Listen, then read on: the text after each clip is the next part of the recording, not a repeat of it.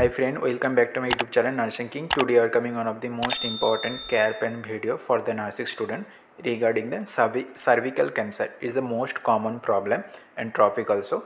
So first you have to write the introduction regarding the disease condition or patient condition. After that you have to write the patient profile regarding the patient name, age, sex, chief complaint, what are the diagnosis, each and everything you have to mention.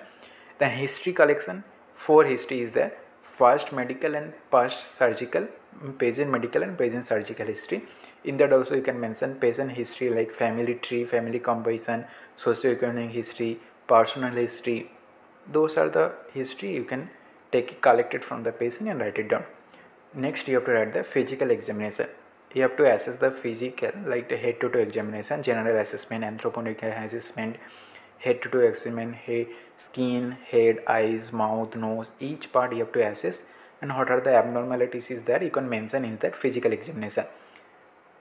While doing the physical examination, four steps inspection, palpation, auscultation, each and every steps you have to follow that and assess the physical examination.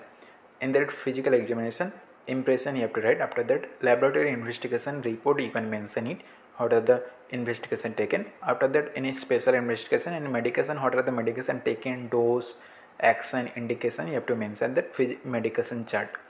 After that depend on the disease condition you have to mention that what are the chief complaint can having for the patient.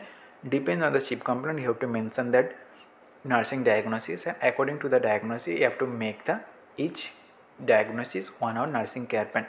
In that care plan assessment diagnosis goal planning implementation implementation and evaluation. I hope you know how to write this. If you don't know you can comment me i will make new video for this topic. So each nursing diagnosis on a nursing care plan you have to mention. So after nursing care plan you have to mention that health education to the patient.